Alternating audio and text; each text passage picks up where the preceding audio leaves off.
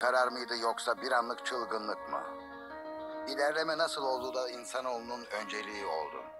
İlerlemeyi sağlayan enerjiye gem vurmak insanlığın çöküşünü hazırlayabilir mi? Acaba sebep bizlerin merkezde değil de evrendeki her şeyle bağlantılı olmamız mı? Yani Washington'da alınan kararlar Peru'daki buzulları etkiler mi? Amazon'da ağaçların kesilmesi Paris'teki sıcak hava dalgasının sebebi olabilir mi? Çin'deki nükleer santraller Los Angeles'ın hava kalitesini etkiler mi? Asıl sorun başa çıkılamayacağını düşündüğümüz zorluklarla oldukları gibi yüzleşip yeniden icat ve yeniden tasarım için fırsatları değerlendirmek. E kare çevre bilincine sahip ekonomiler. Gelişmekte olan bir üçüncü dünya ülkesi ya da dünyanın bir numaralı süper gücü için doğru olan tek bir şey var. Enerji ve ekonomik refah son derece birbirine bağlı şeyler. Ve bugünlerdeki sera gazı emisyonu tehdidiyle bildiğimiz kadarıyla toplumun en zayıf noktası haline geldi. Enerji patlaması daha çok ileri yönde. Daha fazla enerji gerekiyor. Dünya ekonomisi fosil yakıta dayanıyor. Fakat fosil yakıtlar iklimi değiştiren ve neredeyse gezegeni mahvetme potansiyeline sahip karbondioksit gazlarının atmosfere emisyonuna sebep oluyor.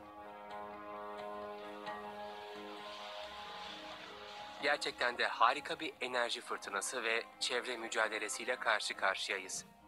İnanılmaz bir talep var. Bu arada güvenlikle ilgili endişelerimiz var ve enerjinin bunu nasıl etkilediğiyle ilgili. Evet petrol rezervlerimiz var ama petrole olan bağımlılığımızı önlemek başka bir konu. Elbette şu anda sürekli gözümüzün önünde olan dikkat çeken şey iklim değişikliği. Karbondioksit emisyonunu büyük bir oranda azaltmamız gerekiyor.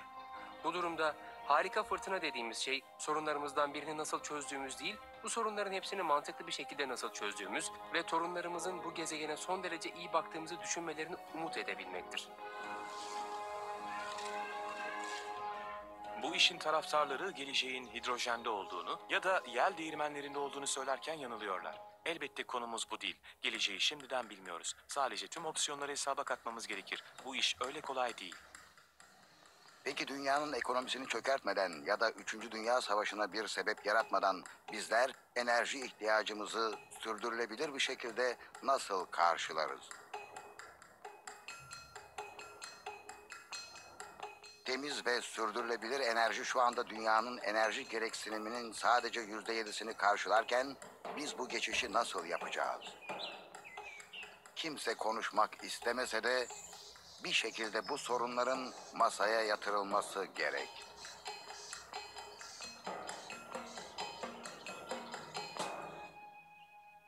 Birleşik Devletler'in iki büyük enerji kaynağı var. Biri kömür, diğeri de nükleer enerji. Asıl soru bunlar nasıl kullanılacak? Bizlerin karbon emisyonunu kısıtlamaya çalıştığı bu dünyada kömürü ve nükleer enerjiyi nasıl kullanacağız?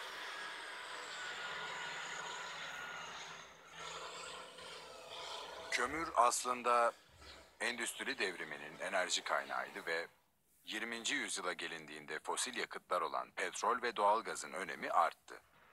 Bazen kömürün 19. yüzyılın enerji kaynağı olduğu düşünülürdü. Fakat kısa süre içinde 21. yüzyılında enerji kaynağı haline geldi.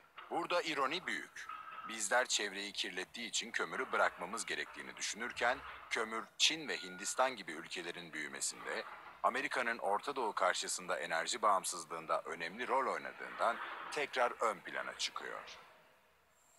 Kurulması düşünülen ya da kurulmakta olan kömür santrallerinin sayısını topladığınızda dünyanın iki lideri olan Birleşik Devletler ve Çin'de veya dünyanın herhangi bir yerinde trilyonlarca dolarlık kömür yatırımının yapılmakta olduğunu anlarsınız.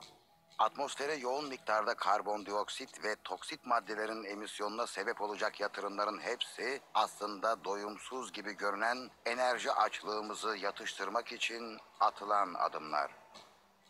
Bugün asıl sorun sadece kömür pisliği değil. Bugün kurduğunuz her elektrik santraliyle ileride kimse bu işi bırakmak istemeyecek. Çünkü bu işe para yatırılıyor, bir tesis kuruluyor, lisans alınıyor ve belki de 50 yıl işletimde kalacak. Bu yüzden bugün hizmete giren kömürle çalışan tesisler topluca azaltıma gitmezlerse 2050 yılında atmosfere daha fazla karbon saçacaklar. Kömürle ilgili başka sorunlar da var.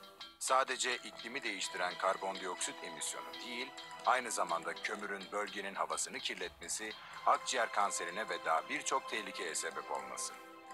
Örneğin sülfür oksit, nitroz oksit, cıva ya da diğer kirleticiler ve bunların dışında daha birçok başka şey. İnsanlar kömürün geçmişine bakıp kullanımı düşünürken ne yazık ki yeterli sayıda insan kömürün teknoloji yoluyla artık en az diğer yakıtlar kadar temiz bir şekilde neredeyse sıfır emisyonla yakılabileceğinin farkında değil.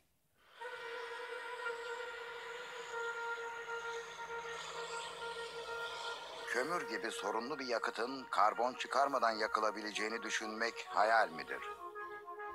Karbon yakalamanın ve karbondioksitin toplanarak depolanmasının geçerli bir teknoloji olduğu yaygın bir kanı. Karbondioksiti elektrik santralinde yakalıyorsunuz, boru hattıyla taşıyıp ayırıyorsunuz ve yerin altında saklıyorsunuz. Tüm bunlar teknoloji, maliyet ve bilimsel doğrulama yoluyla olabilir. Karbondioksiti yerin altında depoladığınızda sonsuza dek orada mı kalır? Söylemeye çalıştığım şey bu konuda tanıtım projeleri olmalı. Bana kalırsa karbon yakalama ve karbondioksitin toplanıp depolanması için gerekli teknolojinin test edilmesi çok önemli. Çünkü işe yararsa çözümün büyük bir bölümü hallolmuş olacaktır. Birleşik Devletler Enerji Departmanı bunun olası olup olmadığını test etmek için 7 ortaklık oluşturmuş. Dünya genelinde kömür rezervlerinin tüm gezegenin enerji ihtiyacını önümüzdeki 600 yıl boyunca karşılama ihtimali olunca çok yakından izleniyorlar. Büyük Gökyüzü Karbon Sekestrasyonu Ortaklığı doğaya kaynaklı 7 ortaklıktan biri. Bu ortaklığın amaçlarından biri de pilot tanıtımı gerçekte büyük ölçekli tutarak bu teknolojinin büyük ölçekte kullanıma girme süresini daha da kısaltabilmek. Büyük Gökyüzü Sekestrasyonu projesi bu bölgede karbon depolanabilecek jeolojik yapıları belirliyor. Eğer karbonu depolayabilecek beyaz mermer, kireç taşı gibi önemli miktarlarda jeolojik yapıları belirleyebilirsek, enerji ihtiyacımızın büyük bir bölümünü burada, Montana ve Wyoming'de üretebilir ve daha sonra karbondioksiti ayırabiliriz. Peki karbondioksit yerin altında kalabilecek mi? Kömürden elektrik üretildiği sırada karbondioksit hapsediliyor, basınçla sıvı bir hale getiriliyor. Daha sonra bir ya da iki mil uzunluğunda borular yardımıyla yerin altındaki jeolojik depoya gönderiliyor ve kaya yatağının mikroskobik gözenekleri karbondioksitle dolduruluyor. Karbondioksiti balona benzeyen büyük bir mağaraya hapsediyoruz. Ama bir delik bulduğunda kaçabilir.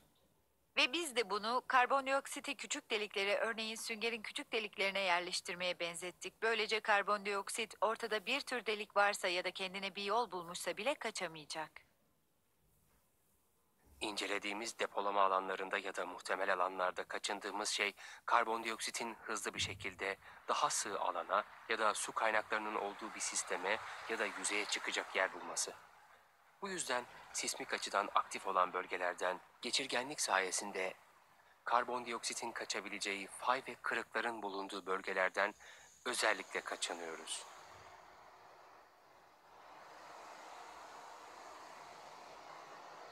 Endüstrinin gelişmesiyle birlikte sarkaç hızlanmaya başladı ve evet bizim karbondioksit emisyonu konusunda bir şeyler yapmamız gerek. Cold Strip Elektrik Santrali, Cold Strip Montana. Şu anda bulunduğumuz yer olan Coal Strip Elektrik Santrali neredeyse 2100 megawatt elektrik üretiyor. Bu 1.7 milyon evin enerji ihtiyacını karşılamaya yeter. Burada Coal Strip'te kullandığımız tür düşük bitumlu kömür hemen yan tarafta Western Energy Rosebud madeninde çıkarılıyor. Biz de aramızda bir süre iklim değişikliği konusunu konuştuk ve karbon toplayıp depolama konusunun işe yarayıp yaramayacağı konusunda bilmemiz gereken çok şey olduğunu fark ettik. Çevresel bir sorumluluk olup olmayacağını da bilmiyoruz. Fakat böyle bir şeyin içinde olmak beni cesaretlendiriyor. Sanki bu sorulara cevap bulabilmek için her açıdan bir taahhüt gibi geliyor. Ben karbon depolama konusunda birçok insandan daha az heyecanlıyım. Çünkü bana göre ortada bir dizi sorun var. Birincisi bir çatlaktan sızabilir. İkincisi, hiç kimse karbonun sızabileceği yerlerde karbon depolama testi yapmak istemez. Herkes testlerini en iyi tesislerde yapmak ister. Fakat büyük şehirlerde çalışan mühendislerin gerçek dünyasında karbondioksiti şehir dışına pompalamak ve yerin altına göndermek var. Bunun sonucunda karbondioksiti tutan akiferlerde belki de bir çatlak olacak ve karbondioksit kendine sızabileceği bir alan bulacak. Bu sorunların çıkabileceği bir süreç ve ayrıca maliyet de artacak. Hatta kömürün kilowatt saat başına maliyeti ikiye bile katlayabilir. Bence daha yeşilce alternatifleri tercih etmeliyiz. Şu sızma konusunda hemen bir şeyler yapmalıyız. Zaten kömürle çalışan elektrik santrallerindeki karbondioksit kaçağı şu anda yüzde yüz. Örneğin Birleşik Devletler'de bugün hiçbir şekilde tutmadığımız için 1.8 milyar ton karbondioksit emisyonu var. Karbon depolama işine baktığımızda yani uzun vadede jeolojik sekestrasyona biz burada karbondioksiti yerin altında yüzlerce belki de binlerce yıl tutmaktan bahsediyoruz. Yüzde yüzünü yakalayabilir miyiz? Tamamının yer altında kalacağını garanti edebilir miyiz? Muhtemelen evet. Ama yine de söylüyorum. Depolama ve yüzde yüzünün sızmasını engelleme gibi bir hedef koymak bizi ileriye doğru adımlar atmaktan geri koyabilir. Karbon yakalama ve depolama çözüm ne olursa olsun önemli bir parça. Evet bu işin merkezi diyemeyiz fakat puzzle'ın bir parçası olduğu kesin ve basit bir nedenden dolayı bizler fosil yakıtlara bağımlıyız. Her ihtimal düşünüldüğünde hatta başka harika alternatifler geliştirilse bile fosil yakıtları çok büyük miktarlarda kullanmaya yine bu kömürü kullanmaya devam edeceğiz ve sadece biz değil Çin ve Hindistan da kullanacak. Bu yüzden fosil yakıtları güvenli bir şekilde kullanmamızı sağlayacak teknolojiler geliştirmeliyiz. Birleşik Devletler ve Çin'de kömürle çalışan tesislere trilyon dolarlar yatırıldığından donanımın iyileştirilmesi tek çözüm gibi. Burada asıl soru geleceğin elektrik santrali nasıl bir görünüme sahip olmalı? 2005 yılında Birleşik Devletler gelecek nesil adını verdikleri kömürle çalışan ve sıfır emisyona sahip bir tesisin prototipi üzerinde çalışmaya başladı. Bittiğinde dünyanın fosil yakıtla çalışan en temiz elektrik santrali olacak. Gelecek Nesil projesi aslında Birleşik Devletler Enerji Birimi tarafından 30 yıllık bir süreçte yapılan araştırma ve geliştirmelerin bir toplamı. Bu uluslararası bir çaba. Doğru hatırlıyorsam hükümet paranın yüzde altmışını, özel sektörde yüzde kırkını koyuyor. Şu an 9 şirket var.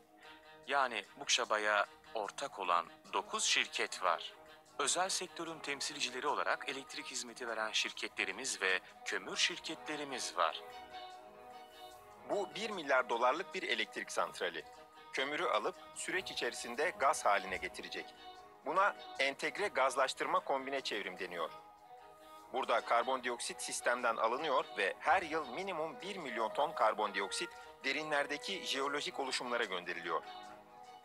Buradan bir model yapı ya da geleceğin sıfır emisyonlu elektrik santrali çıkacak. Bir buçuk yıldan az bir sürede yani bu işte olduğumuz süre zarfında kavramsal bir tasarımı ve santralin maliyet tahminini tamamladık. Bu arada 7 eyaletten 13 teklif aldık. Ve şu anda çevresel etkiler açısından bu alanları değerlendiriyoruz ve bu yılın sonunda bir yerde karar kılmış olacağız. Ama bu projenin zaman ve kaynaklar açısından bu kadar büyük bir yatırıma değmeyeceğini düşünenler var. Gelecek nesil bir federal program ve bana kalırsa kötü yönetilen bir programda olan her şey var.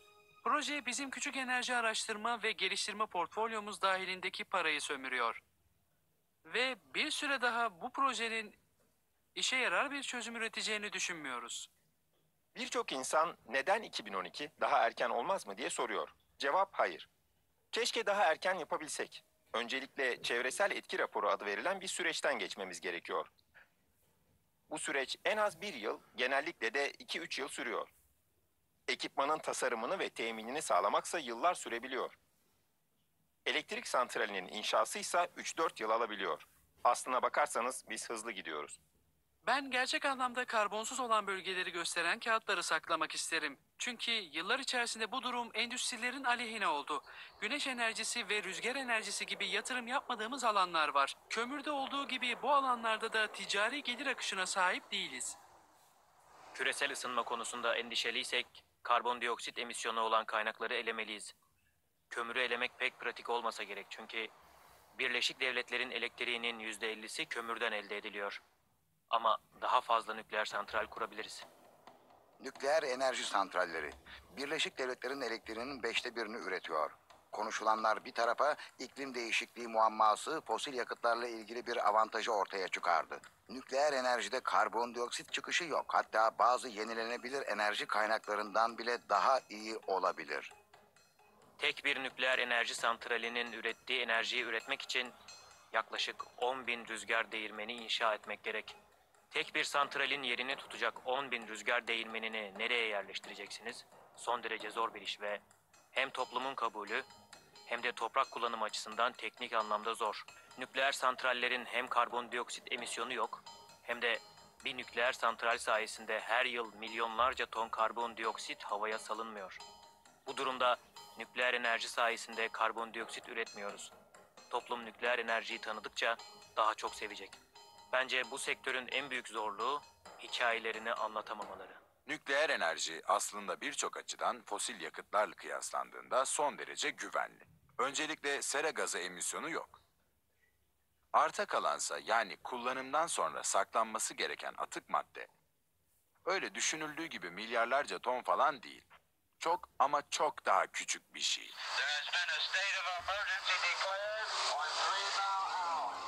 Bu arada Amerikan toplumunu ele geçiren ve neredeyse bu endüstriyi durma noktasına getiren bir risk var. Ve bu risk nükleer bir santralle yaşanabilecek nükleer bir felaket. Tek bir teknolojik hatayla bir Çin sendromu, Çernobil ya da 3 mil adası felaketi tekrarlanabilir. Ben bunların nükleerin yaratacağı en küçük sorunlar olduğunu düşünüyorum. Bu saydığım riskler diğer sıkıntılara kıyasla. Örneğin proliferasyon. Ki bu gerçek. Nükleer maddelerin depolanması. Bu da gerçek. Terör riski. Bu da gerçek. Bunlara kıyasla biraz daha fazla abartıyorlar. Tasarımcılar ve mühendisler bu sorunları çözebilmek için yeni yaklaşımlar deniyor. Bunlardan en heyecan verici olanı çakıl taşlı yataklı modüler reaktör.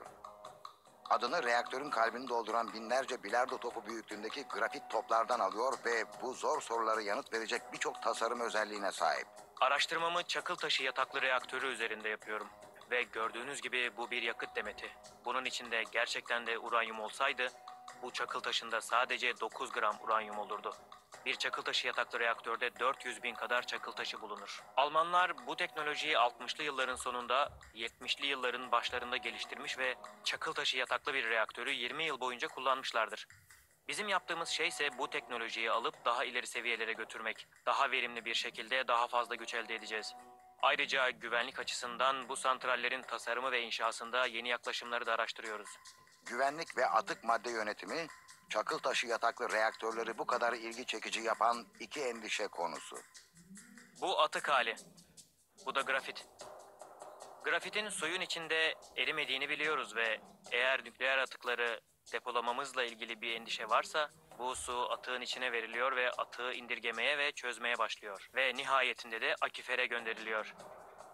Hafif sulu reaktörden çıkan tüketilmiş yakıt gibi maddelerin aşındığı duruma zıt bir durum var. Bu maddenin özellikle de suda aşınması çok çok az. Bu da maddenin gelecekte binlerce yıl boyunca çevreye dağılmasını önlemek için bir başka engel. Jeolojik ya da fiziksel engel. Göstermeye çalıştığımız bu teknolojinin aslında çok iyi tarafları olduğunu düşünüyoruz. Ve Birleşik Devletler'de yeni nesil nükleer santral adı verilen bir programımız var. YNNS. Ve şu anda böyle bir reaktörün kavram öncesi tasarımını yapma aşamasındayız.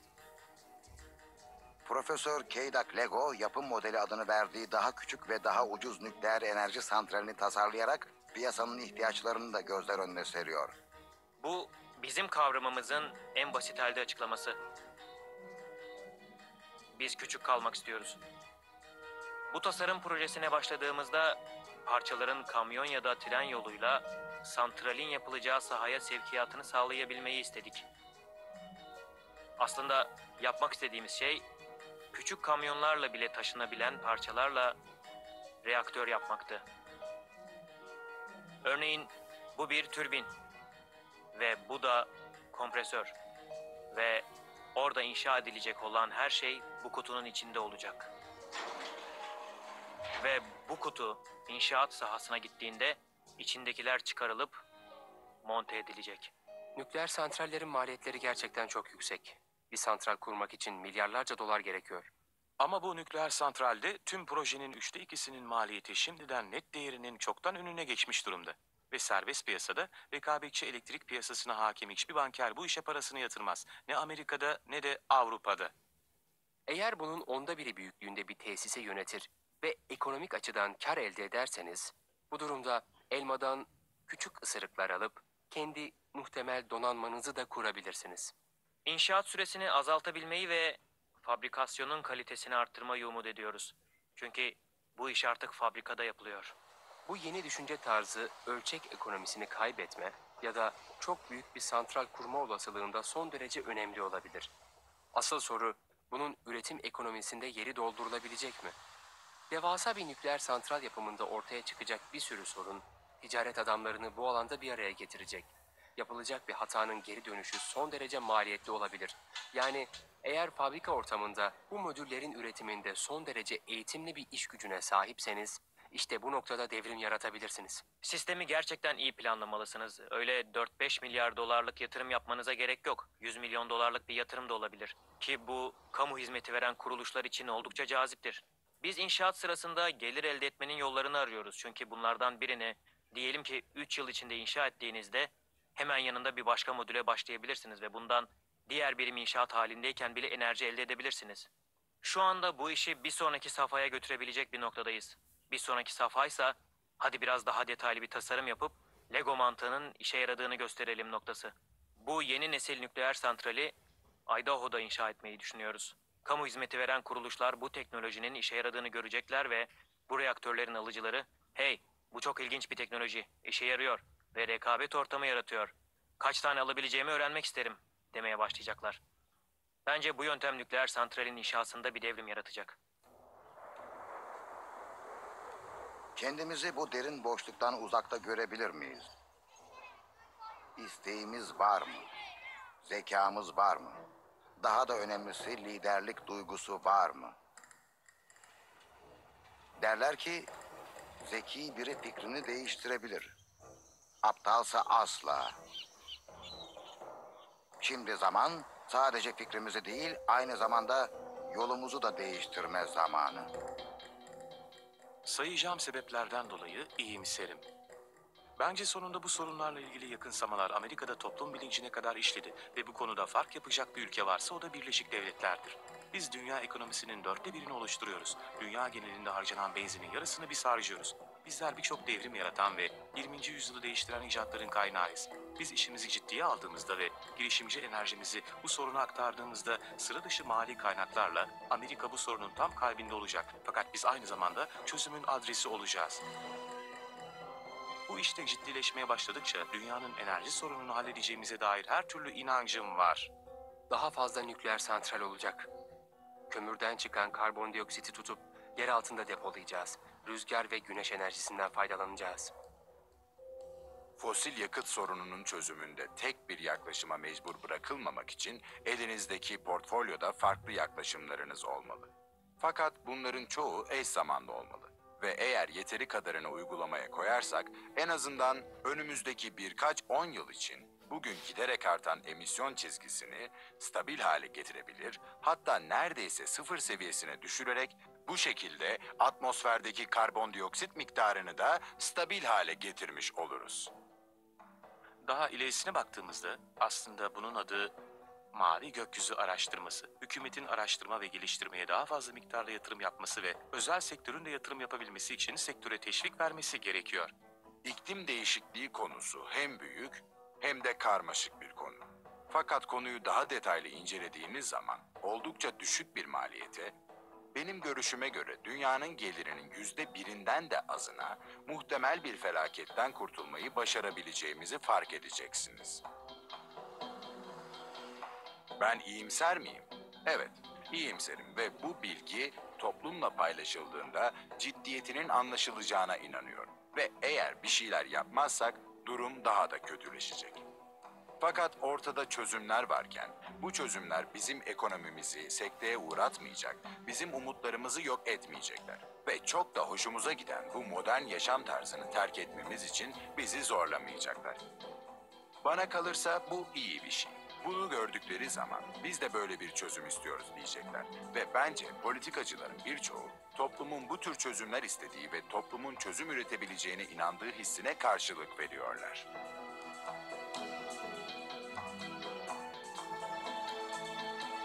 Daha fazla bilgi almak ve yayın akışına üye olabilmek için web sitemizi ziyaret ediniz. E2